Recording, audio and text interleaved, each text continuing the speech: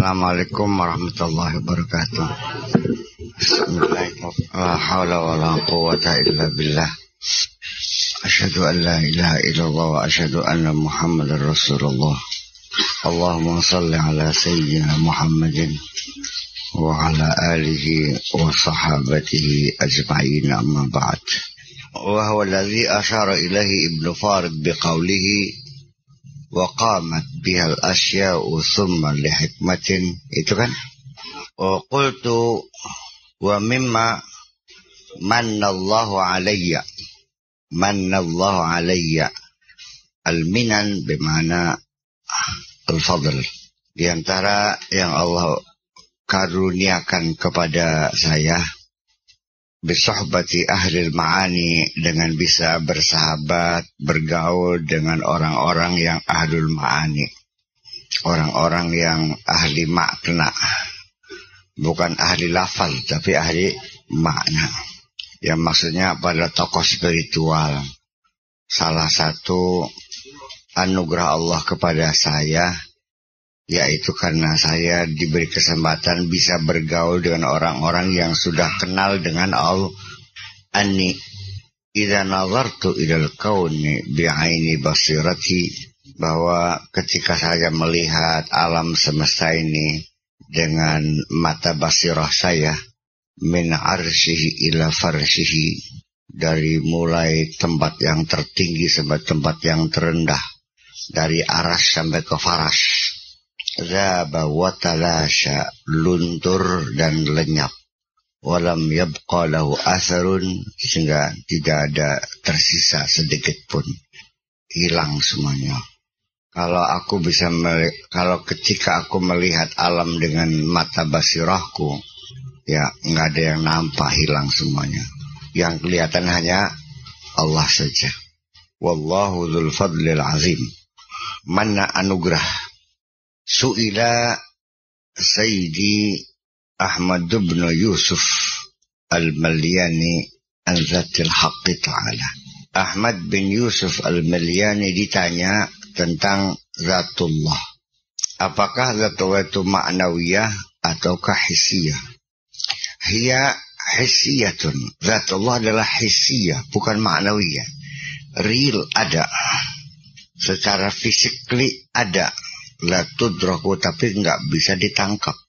Qala Sayyidi Abdul Abdullah Al-Habti wa hadha mimma yadullu ala tahqiqi ma'rifatihi. Ini menunjukkan bahwa beliau itu betul-betul mengerti. Orang yang betul-betul paham bahwa zatullah adalah haysiyah la tudraku.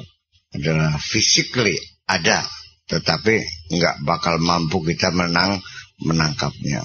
Qultu Zatul Haqqi Ta'ala Mawjudatun Latifatun Zatullah itu ada sangat halus, sangat lembut. La tudrikuhal absar. Yang tidak bisa ditangkap oleh pandangan mata. Wala tukayyifuhal uqul. Dan tidak bisa diadaptasikan oleh pikiran. Tidak dapat ditangkap oleh pandangan mata dan tidak bisa ditangkap oleh pikiran. Muttasifatun bisifatil ma'ani wal ma'nawiyah. Allah mempunyai sifat ma'ani dan ma sifat ma'nawiyah. Walau kanat uh, sifatul ma'ani atau ma'na kalau lau kanat sifatan atau ma'nan kalau seandainya kebenaran Allah itu hanya bersifat hanya sekedar sifat dan makna saja kama yazamu nasara seperti yang diduga oleh Nasrani lam tattasif bisifatil ma'ani lal ma'nawiyah. Maka pasti tidak bersifat dengan sifat ma'ani dan sifat ma'nawiyah. Lianna sifat awal makna karena sifat dan makna itu la yaqumu binafsihi tidak berdiri sendiri wala buddha ayyakuma biqarihi dia mesti keberadaannya itu tergantung kepada yang lainnya suatu adjektif itu jelas kalau adjektif itu tidak bisa didefinisikan walau bagaimanapun ini satu kaidah umum ilmu logika bahwa adjektif itu tidak bisa didefinisikan seperti warna merah Apakah merah itu yang nggak bisa didefinisikan? Mengapa? Karena merah sendiri itu bisa dibuat berbeda tak terhingga. Dari yang merah lamat-lamat sampai yang merah belek. Di antara kedua ekstrim, merah yang paling terendah sampai merah yang paling tertinggi, itu bisa miliaran warna. Merah satu kilo dikasih satu digit warna putih sampai seribu digit itu tidak akan ada sama. Paham nggak? Bibir merah bungkus rokok gudang garam merah mata merah pita merah sarung merah baju merah nggak ada yang sama warna merah. Sehingga tidak mungkin sifat itu adjektif itu di, didefinisikan. Paling-paling hanya birasem atau bil isyarah dengan secara demonstratif. Apa sih warna merah itu seperti ini. Tetapi tidak menampilkan itu sendiri hanya sebagai contoh saja. Bungkus rokok gudang garam seperti merah seperti ini nih warna merah. Kayak bibirnya pacar gue tuh merah, iya. Itu. Jadi dan juga sifat itu tidak bisa berdiri sendiri. Merah apanya merah? Kita tidak bisa menangkap merah itu sebagai sifat. Tentunya tergantung kepada adanya mosufnya cerdas. Apa cerdas itu? Ya, ya apa yang cerdas? Cerdas itu bukan sesuatu yang wujud yang ada, tetapi dia tergantung kepada mausufnya. Orang cerdas, anjing cerdas, kiai cerdas.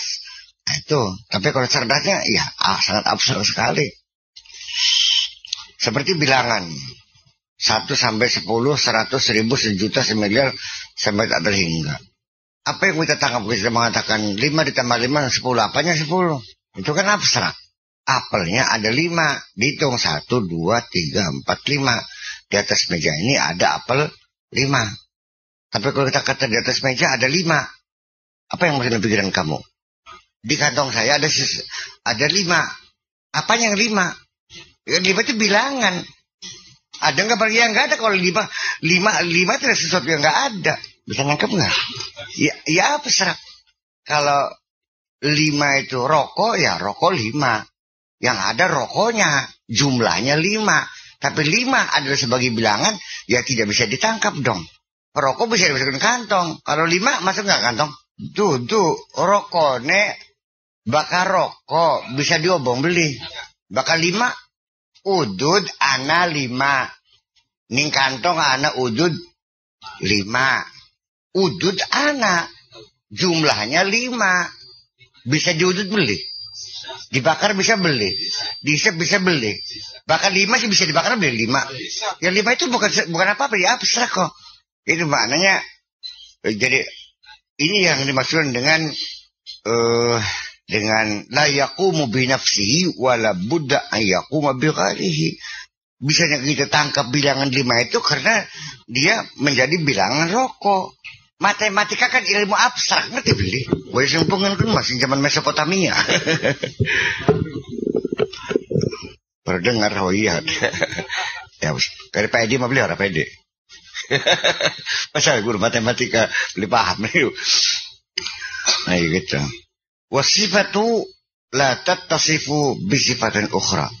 Dan sifat itu tidak bisa mensifati sifat yang lain. Paling-paling gabungan dua sifat. Tapi suatu sifat sifat yang lain nggak bisa. Kalau hitam manis mah ada. Tapi warna hitam yang manis ya susah. Tetap saja warna hitam yang manis nggak bisa ditangkap. Maksudnya apa? Tapi kalau perempuan hitam manis ya bisa. Jadi nggak bisa sifat mensifati sifat itu. Itu makanya.